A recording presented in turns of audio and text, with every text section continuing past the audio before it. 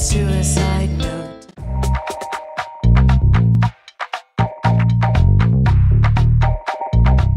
Fino ad oggi, quando si è parlato di eco-design a livello dell'Unione Europea, si è parlato soprattutto di un design che fosse eh, per l'efficienza energetica. Per noi invece è importante che eh, si debba anche a, a affrontare il problema del, dei rifiuti elettronici. Eh, ad oggi, eh, secondo le stime delle Nazioni Unite, eh, ogni anno si producono circa 50 milioni di tonnellate di, eh, di rifiuti elettrici ed elettronici. Si riescono a riciclare circa il 20%. Cosa succede agli altri 80%? Tanti finiscono in discarica, tanti vengono inceneriti, ehm, tanti scompaiono eh, attraverso filiere di esportazione di mh, prodotti elettrici ed elettronici eh, usati eh, e finiscono in Africa principalmente, in India, in Cina, eh, dove eh, in alcuni casi vengono venduti come eh, prodotti di seconda mano ma a vita breve, diventano quindi molto rapidamente rifiuti pure loro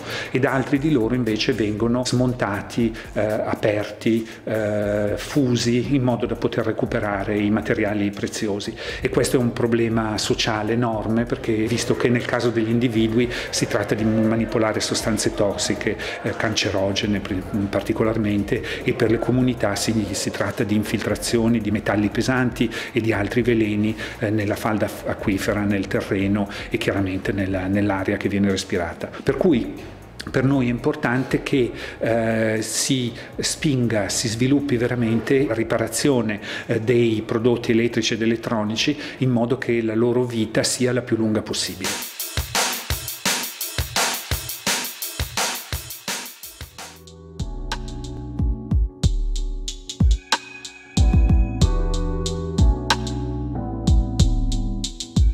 Abbiamo lanciato una petizione su change.org per il diritto alla riparabilità ed erano i primi di ottobre, la risposta è stata straordinaria. Attraverso questa petizione vogliamo assicurare che ci siano eh, principi fondamentali per la riparabilità inclusi nella normativa e in particolare tre cose, eh, che i pezzi di ricambio siano disponibili per tutti e per la durata più lunga possibile, eh, che i prodotti possano essere smontati, eh, spesso quando si effettua una riparazione eh, non si riesce perché il prodotto stesso è costruito in modo tale da non poter accedere alle, par alle parti da, da, sostituire e in terza, terza battuta è tutto quello che riguarda la documentazione, quindi gli schemi tecnici e i manuali per poter effettuare le riparazioni. Con questa petizione abbiamo eh,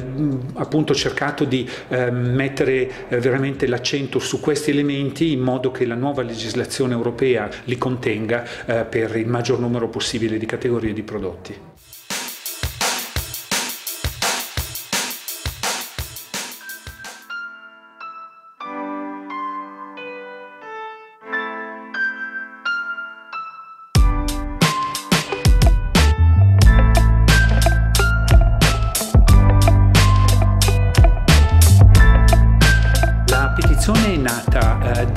Dal, Regno Unito e in particolare da un progetto che è molto attivo in Inghilterra e in Scozia pure e si chiama The Restart Project. Eh, e il Restart Project ha un ramo molto molto forte in Italia, a Milano con i Restarters, a Torino e in, in, a Firenze in Toscana e con i eh, giacimenti urbani che è un'associazione, una rete molto molto presente nel, nel nord Italia e direi che si sta ampliando sulla l'Italia centrale, che ha veramente il suo focus principale nella eh, cultura, nello sviluppo di una cultura del riuso, di una cultura del riciclo, una cultura della, della riparazione, insomma una cultura dell'economia circolare.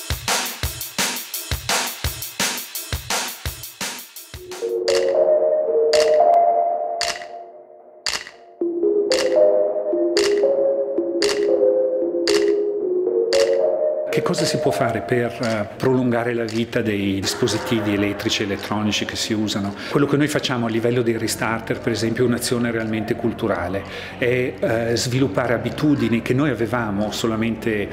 50 anni fa eh, l'abitudine di cercare di aggiustare un, un prodotto che, che, si rompeva, anche prodotti complessi, per cui eh, un invito è quello di partecipare ad attività dove ci sono dei riparatori volontari eh, che aiutano nella riparazione e allo stesso tempo insegnano a, eh, i principi della riparazione. Sul web oggi ci sono delle risorse straordinarie per la riparazione, eh, ci sono ovviamente canali eh, YouTube dove si può imparare a riparare qualunque cosa e allo stesso tempo ci sono delle piattaforme molto molto specifiche e penso in particolare a iFixit, una specie di eh, Wikipedia della riparazione eh, con eh, decine di migliaia di manuali eh, accompagnati da video per la maggior parte dei prodotti e di nuovo attraverso iFixit si può veramente riprendere il controllo del, del prodotto.